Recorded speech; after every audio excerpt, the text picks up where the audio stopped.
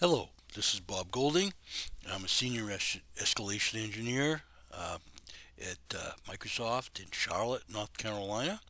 And uh, this is the companion video to uh, an AskBob.test tech article called Memory Dump 101. And I have the memory dump article the, on the screen here, and it has some uh, information on how to set up WinDBG to look at a memory dump. Uh, we the uh, whole idea of this is is that we here at Microsoft get uh, many memory dumps, and a lot of times uh, the memory dump uh, crash that caused a memory dump is uh, is a third-party driver and a lot of times uh, we'll look at the dump and we'll see it's a third party driver and we'll want to and we uh, re recommend that the vendor be engaged. And uh, if somebody would look at the dump themselves I think this would uh, shortcut a lot of this and um, help uh, with expedite matters when the memory dump is being reviewed. So this is the memory dump 101 uh, article from askbob.tech and uh, this is a WinDBG session that I set up on a memory dump. And what I've done is I went to File and I uh, I opened my crash dump. I set my symbol file path to the Microsoft symbol server. And uh, the sample dump I have is a uh, is from a program called Not My Fault. It's up on uh, sysinternals.com, and that can be used to crash the system to create a memory dump. And the way it does this, it um, causes a stop D1, which is a uh, invalid memory access at uh, an elevated IRQL, and uh, in in the uh, bug check parameters, you can see this. You have the address referenced the IRQL level, and this is the um, the EIP or PC of um, where the access occurred. And you, you can see here, if we go to, we do a K, and we go to frame uh, frame 3, that's where the invalid access occurred. So as in my article, you do dot frame slash uh, frame 3 slash R and you can get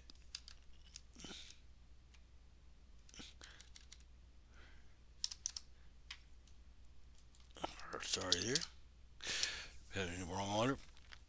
You could get the uh, you could get the registers at the time of the failure. Now beware that uh, in x64 the uh, a lot of parameters are passed in registers and some of the registers are volatile and they may not contain all the relevant information or all the uh, information time of the trap most of the time um, it is it is correct. And as you can see here we did make the access at um, that address. And if we do bang PTE which will display the uh,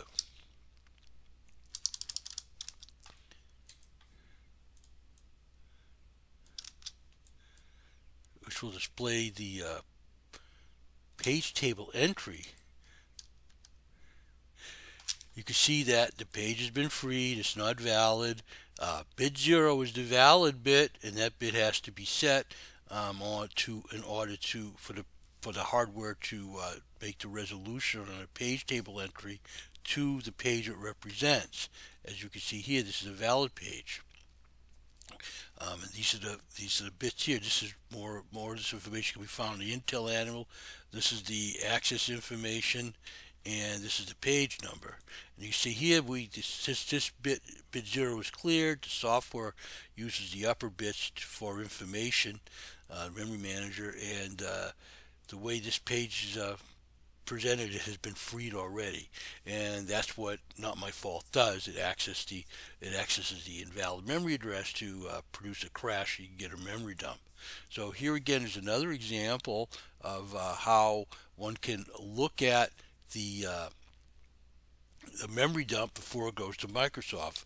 If we were to get this, we'd we'd say, "Oh, look, uh, we're three frames deep into into my fault, and we took a page fault. Page fault was um, was initiated by hardware because we accessed the uh, uh, logical address where the valid bit was not set, and when we went to resolve it, we find out that it's invalid."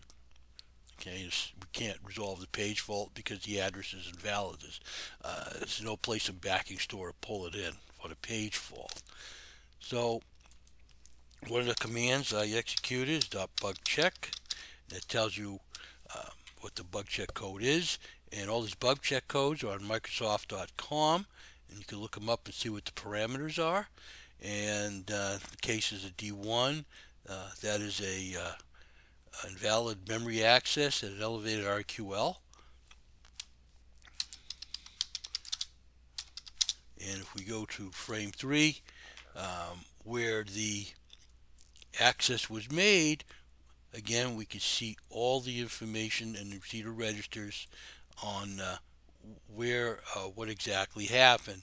And a cursory um, examination can be made and since it isn't my fault and, and uh, not a Microsoft driver, uh, in this case, the dump should be sent to the vendor of my fault um, uh, first, or a dump could be sent to Microsoft possibly in parallel.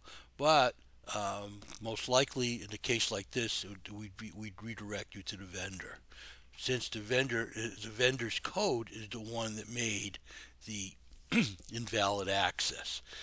Uh, so I hope this makes things clearer, and I hope you enjoyed the video.